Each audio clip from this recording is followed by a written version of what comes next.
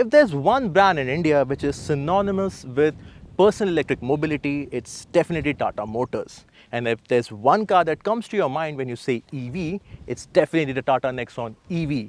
There are over 60,000 Nexon EVs on the road today since its introduction in 2019. Over the years, it got a bigger battery pack and many special editions. But now there's a new one. This is the 2023 Tata Nexon EV and in this video, we'll be telling you everything about it and I mean literally everything about it. So let's begin. But before we begin, let me tell you one thing that Tata says the 0 to 100 km per hour time of this Nexon EV has improved. So we will be testing it out on our V-Box. So stick till the end. And welcome back to Carwale. I'm Bilal and before we begin our video, let me remind you to subscribe to the Carwale YouTube channel. Uh, if you like this video, which I'm sure you definitely will, hit that like button as well and share it forward as well.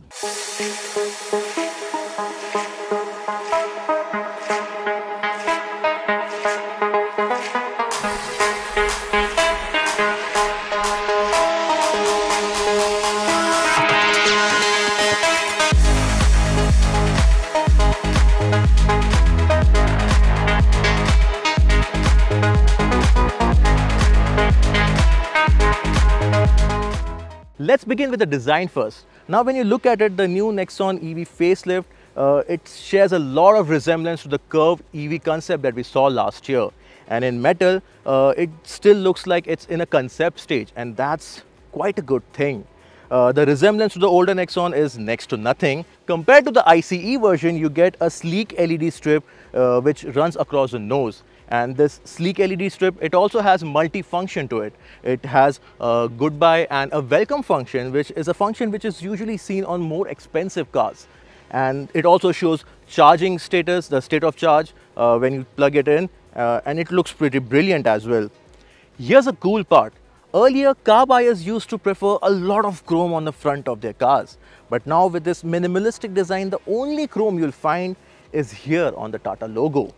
Now we move lower down and you'll see that the headlamps are integrated just into this small unit. It's a LED projector and it's powerful enough. There's a fog lamp unit housed right beneath it into this overall geometrical design. And if you look closely, there's also an air vent right next to it. It's part of the aerodynamic upgrades that Tata has done. There are overall 13 points that Tata has improved aerodynamically, which they claim that has increased the range, about 2% of it. There are more slats lower down the bumper and they're garnished with a matte chrome finish. Even the lip, it runs across the front fascia. And I would have preferred if these slats uh, would have been illuminated as well. Moving to the side, it's here you would see the resemblance to the older Nexon EV, uh, more specifically on this flared wheel arches both front and rear and on that C-pillar. Even this belt line which was seen on the older Nexon EV with a prominent contrast teal finish, here it's more subdued. But let's talk about the changes now. This 16 inch alloy wheels that you see here, it's aerodynamically designed uh, and they are wrapped in special MRF tires which has now lower uh, rolling resistance than before. So this new MRF tires with this uh, aerodynamically designed wheel, they have uh, contributed to improving the range, say Tata. Then you look at the overall silhouette, uh, it's still recognizable as a Nexon. The ground clearance, if you notice, is unchanged over the older one. It's still 205 mm. And again, there are changes to the front and the rear, but this is definitely a Tata Nexon EV. Now at the back, I'm a fan of this uh, tail lamp aesthetics of the new Nexon. It connects in the middle and on either side you have that X Factor LED strip and it's a smoked out finish and if you notice from the side it has a sharp crease to it which looks really nice when you look it up close. Uh, now lower down you also have this characteristic reflector surround which was seen on the older Nexon but here it's slightly redesigned and I love the look of it. More details at the back is this new Nexon EV logo which runs across the tailgate. More details if you look at the back is there's a hidden wiper here which is taken directly from Tata's luxury brand, the Range Rover and the Land Rover. Uh, it, it is hidden inside this roof spoiler and even this roof spoiler adds a nice uh, touch to this overall stance of the Nexon EV. And Tatas are known for Easter eggs. And there's one Easter egg here. There's a tiger right here on the rear windscreen. Now, part of this design update is this redesigned lower bumper and you'd notice that this black strip here, it's part of the tailgate now instead of a lower bumper. And you go lower down the bumper, you have this four skid plate with diffuser-like elements. You can have the Nexon EV in any of the seven color options. However, the color choices also depends on which variant you're buying. So that's all on the design aspect of the new Nexon EV facelift. How do you like the design? Uh, do let us know your opinion in the comment section below. And if you think the exterior of the Nexon EV is highly revamped, let's check out the interior then.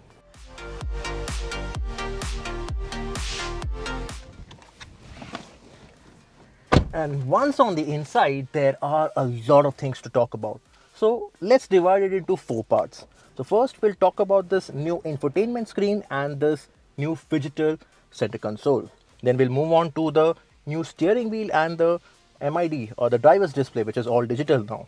Third, we'll talk about the uh, features and practicality. And lastly, we'll also talk about the space and comfort. We begin with the screen first. So we saw a similar screen in the Harrier and the Safari Dark Edition as well as the EV Max Dark Edition. But that was a 10.25 inch and this one is bigger. It's 12.3 inch display. You still get that 10.25 but in the mid variant of this Nexon EV facelift. This one in the range topping version is 12.3 and it is sourced by the same Harman. Uh, now the one in the dark edition it has a all dark theme to it. This one it's running a green hue but the touch response it's good if not great. The user interface it's quite user friendly. Uh, you can remember the icons where it is and Tata has gone a step further to even integrate uh, the newer features which are the OTA update apps which I'll talk about in a few minutes uh, to have the same interface no matter which app you're using so that you know that uh, while you're driving that you know which button is where. Uh, you also get a lot of features in this including voice commands, then the arcade new feature as well as controls for the AC and a JBL sound system. Now this JBL sound system, it has special modes to it you can uh, choose which mode you want depending on what kind of music that you're playing. So there's mode for electronic music, there's mode for your podcast, uh, there's also a silent mode for when there are kids sleeping in the back and you want to listen to the music up front. That brings us to the arcade.ev. Uh, this is basically a, a, app store that you, you, usually get on your phone, like the Google Play Store. Here you can download apps uh, through internet, but not just any app you can download OTT platforms, for example, Netflix, Hotstar, Prime, and you can watch those videos. You can stream those uh, web series or movies while your car is plugged in for a charger. So, for example, I have a, an hour or two wait for, a for the car to be fully charged. I'm sitting here I'm watching a movie uh, or streaming my favorite uh, web series. Not only uh, OTT platform, the uh, Arcade EV also has uh, provision for downloading games. For this particular example we have here, uh, it has a game called BB Racing 2 pre-installed into it. Now the same game is seen on the flat screen at my home and my nephew is a pro at it. So imagine uh, him traveling with me somewhere and we have to uh, wait for the car to be charged and him playing the game on this touch screen. Pretty cool feature, don't you think? It needs to be noted that the streaming is only possible when the car is stationary. Uh, it's a safety precaution that Tata has thought about. The quality of the videos I experienced on the screen was top notch and it is complemented by a brilliant sounding JBL 9 speaker sound system. In fact, I found myself reducing the volume because the sound was too immersive. The audiophiles uh, would definitely love this piece. But on the flip side, uh, the viewing angle of this, if you're watching an OTT series, the viewing angle is not great. For me, I have a lot of reflection from that side coming onto it. So if I'm playing a video, uh, it won't be very, although it's on, in a high HD quality, I won't be enjoying it very much. Secondly, uh, it doesn't have an inbuilt internet. So if you need to stream anything, you need to use your mobile hotspot or you need to have a special dongle or uh, always placed inside the car to use that internet service. Now moving down from the screen, uh, you have physical buttons here. Now when I saw it in pictures, I thought it would be in a similar panel that you get in the Verna. Now, if you have seen our Verna video, it has a panel with a button on top of it. You press that button and that panel's functionality change. You can press that button for having AC control and then you press that button and it turns into multimedia control. I thought this would be a similar one, but no, there are physical buttons for controlling your AC. Then there's a, uh, you have a button for 360 degree camera, opening a tailgate, even the charging flap, uh, locking the charging flap as well. It the negative is that this panel, the touch is good, but it, it is made up of piano black finish, so it's prone to uh, getting a lot of fingerprint marks on it.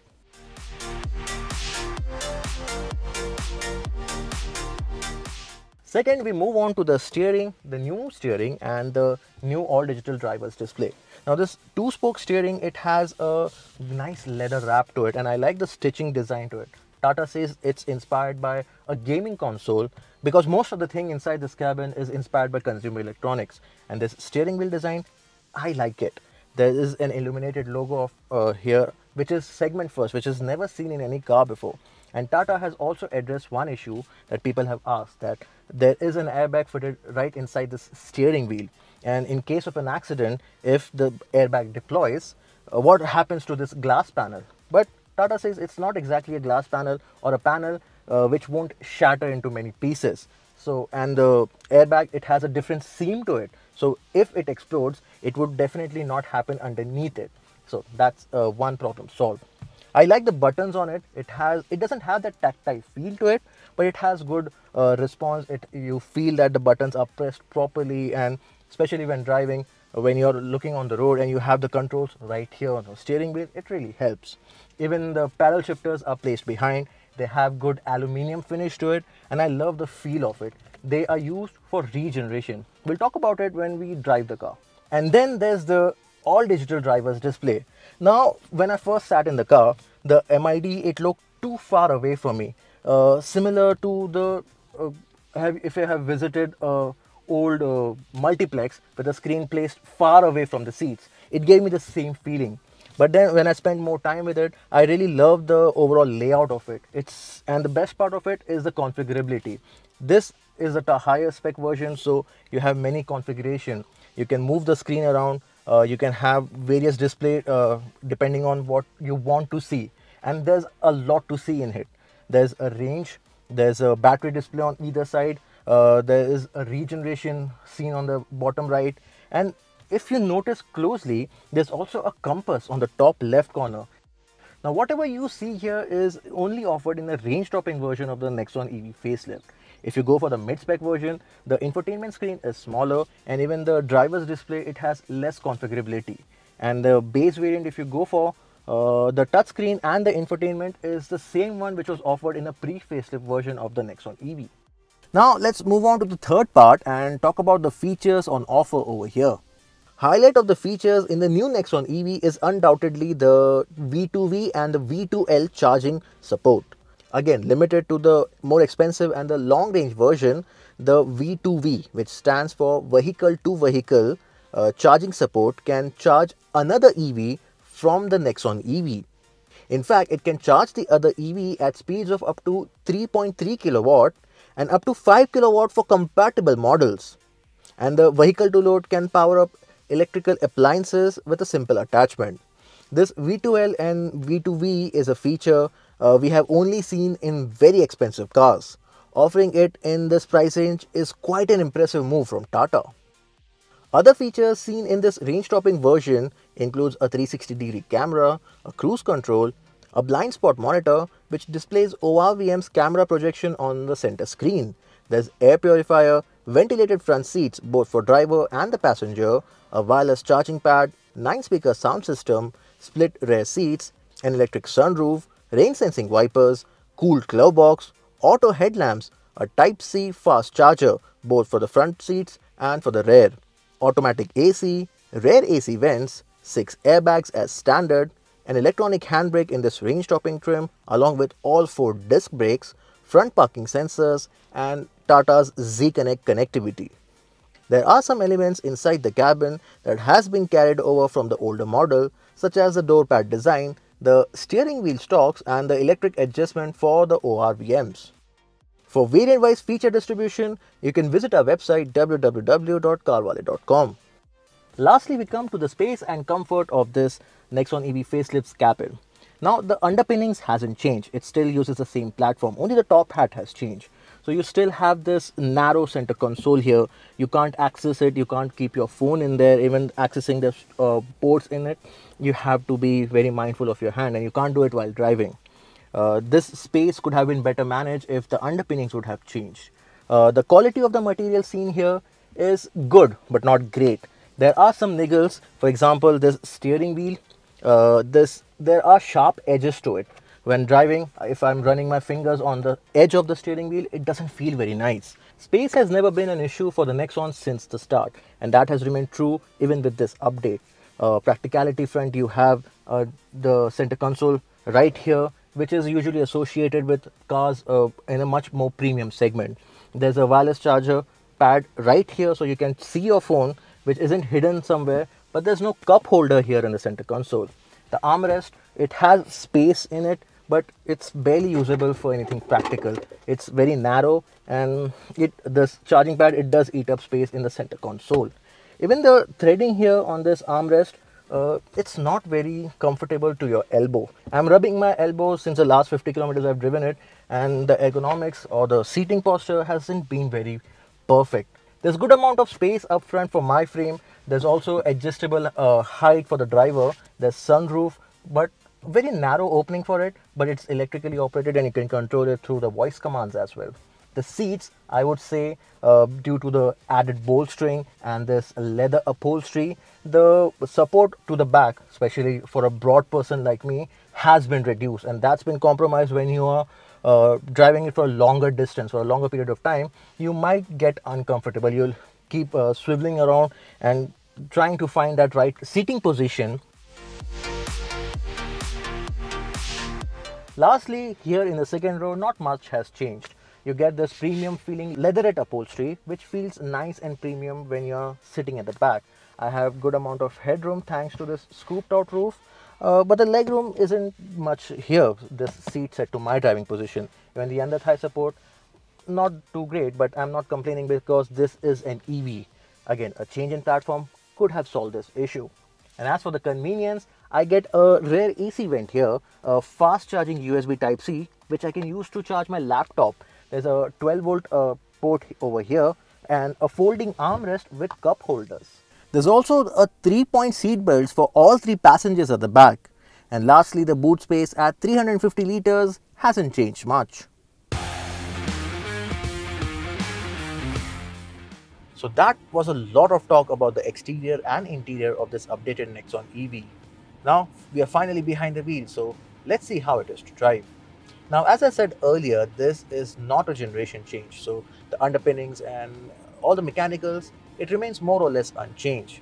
But Tata says they have changed a few critical things underneath and they have made a lot of difference in the way the Nexon EV drives. Now what we are driving here is the long range version. It uses a 40 uh, 40.5 kilowatt hour battery pack which was earlier called as the Max. There's also a medium range version. It uses a 30.2 kilowatt hour battery pack uh, which was earlier called as the Prime. Now this one, it the battery, it powers a motor mounted on the front axle and that produces uh, around 140 horsepower. But the torque figures earlier in the EV Max, it was around 250 Newton meter. But now on paper, this one produces 215 Newton meter. But more importantly, the second generation motor used here is lighter by 20 kgs and it is in a smaller package. It is not only smartly packaged, but it also uses a new algorithm uh, for load management which is optimized by the data collected from so many EVs, Tata EVs which are already on the road. But have these changes improved the way the Nexon EV drives? Well, the initial impressions are yes, they have made this Nexon EV uh, much better to drive behind the wheel. It's much smoother, it feels more refined let's talk about the new gear selector which now replaces the crystal dial which was seen on the Nexon EV Max. This one is a proper joystick like lever which has a proper park or P button on the side and it is also combined with an electronic handbrake on the side. And the circular dial for the drive modes is similar and it is placed behind this new gear selector. There are three modes here. There's Eco, City and Sport, the usual one.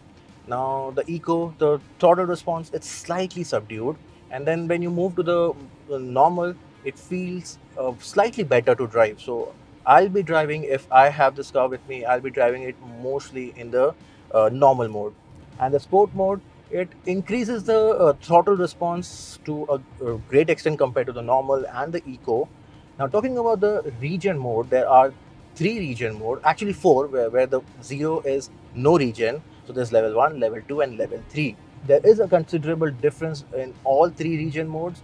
And when you drive it to in the most extreme uh, level three regen mode, uh, it, it won't be called like I won't call it a one pedal setup, but the the way the uh, regens kicks in is really nice and smooth. So I'm on the throttle, uh, I'm doing good uh, 60 to 80 at the city speed or at highway speed. I just let go of the throttle and the car it starts to shed speed at a really nice pace. It's a very gradual and very progressive braking and that I felt really nice. At city speeds, the regen feels nice to use and offers a good braking in bumper-to-bumper -bumper traffic. But it never comes to a complete stop that you'd expect from a proper one-pedal setup. Occasionally, I did experience a slight delay between the system detecting a need for regen and the regen actually kicking in, resulting in a slight jerk. But that might be an issue with this pre-production car that we are driving here and should be resolved in the road-going model. Moreover, the drivability feels much better than before. The drop in torque is surely not noticeable and the ease of driving, which was already quite convenient before, has just gotten a couple of notches higher. Now, as for the battery depletion, we started early in the morning at 99% and then oh, after doing close to 30 kilometers, I saw 10% drop in the battery. So, which it gives us a 1% for 3 kilometers and for 100% it equates to around 300 kilometers in a real world driving condition. And then we started uh, driving on the highway and uh, we maintained a higher speed. And for so far, so since morning, we uh, the MID is showing us around 155 watt hour consumption per kilometer. Once on the highway, I also noticed that the NVH level uh, has improved, but you can still uh, hear the wind noises at highway speed. So around uh, when, when you're approaching three digit speeds, there's a good amount of uh, wind noise that is heard inside the cabin. Otherwise, the cabin remains very plant, very, very silent and a quiet place to be in, especially when you are spending long hours behind the wheel, be it in the city or when you're doing intercity travels. The battery depletion became much better when we were driving back in the city after returning from a shoot location. The range, which was dropping rapidly due to shoots and trackings and our highway runs, uh, it became steady and even when the battery dropped to as low as 15%, the range depletion was so steady, it didn't give us any range anxiety. The slow speed ride of this updated Nexon EV is now quite impressive. It remains flat and absorbs every bumps and creases without letting anything inside the cabin. We even took it over some beaten path uh, to reach our shoot location and there was no complaint either. The higher ground clearance doing its job really well. Even the highway manners feel like you're sitting in a much more expensive car. The steering, it goes almost 3 turns lock to lock and has good weight to it. It's not light and lifeless but has a good progressive feel to it. There's some torque steer uh, which is present when you go aggressive on the throttle with the steering turned in and the tires are struggling to grip. But you do drive it sedately and the new Nexon EV would give you no reason to complain. Now, Tata claims that the 0 to 100 km per hour time of this Nexon EV long range top spec version is around 8.9 seconds. So let's not take their word for it and check it out on our V-Box, shall we? Just over 9 seconds for 0 to 100 kmph is not too off from the claim time. But do note that this is not done in our regular testing conditions. So we will also be doing it properly on our proving grounds when we get the car back home. Now finally we come to the range and the charging.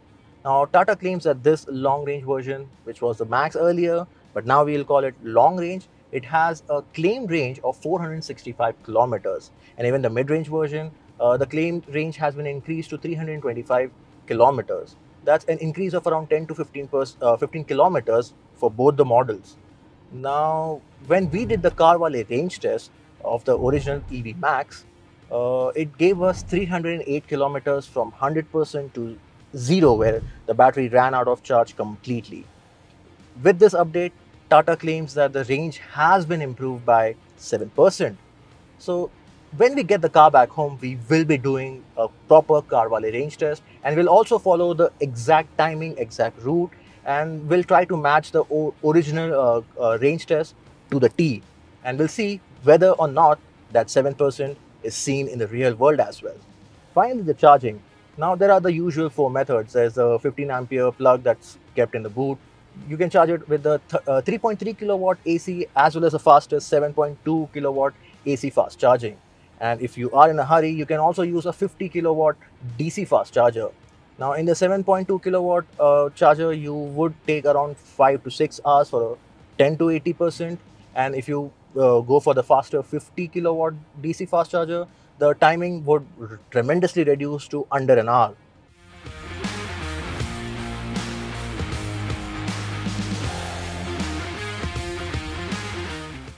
The new Nexon EV facelift, Tata has definitely gone to town with it. They wanted it to be a game changer and I think they have managed to do it to quite a great extent. It looks fabulous no matter from which angle you look at it, like it's still in a concept stage. And then there are features on offer, both inside and on the outside, and these features are not even offered in cars which are priced twice or thrice the price the new Nexon EV will be launched at. The drivability and the range has also improved thanks to the overall improvement they have done. Uh, but there are a few glitches these glitches uh, are seen on the new infotainment system, on the driver's display. Even the ergonomics is still not perfect and there are quality issues of the plastic in some areas. And I personally think Tata has taken a lot of effort to make this Nexon EV a more uh, accomplished product than the older one. And I think if they would have gone a few steps further, They've already changed the motor, but they could have changed the underpinnings to an extent. They could have changed the platform a bit. That would have eliminated the shortcomings the Nexon EV came with due to the older platform. It would have liberated more space on the inside. The ergonomics would have been improved. And the overall, the Nexon EV, both inside and outside, would have undergone a generation change. And with that generation change, it would have justified that newer price tag. The price tag, which I think will be much higher than the car it replaces. When it will be launched on 14th of September, we expect the pricing of this new Nexon EV facelift to be significantly higher than the model it replaces. And therefore, Tata has strategically introduced three versions of it so that there is a model for every car budget. Uh, but the Tata EV at the end of the day is ruling the roost with its uh, electric charge in India. And with this update, it has definitely become undisputed.